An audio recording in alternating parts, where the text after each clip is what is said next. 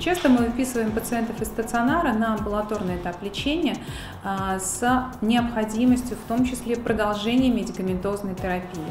И вот для того, чтобы а, это сопровождение было наиболее адекватным, была организована служба телемедицинских консультаций. Каждый пациент, выписываясь из стационара, у нас получает памятку о том, как он может записаться на телемедицинскую консультацию.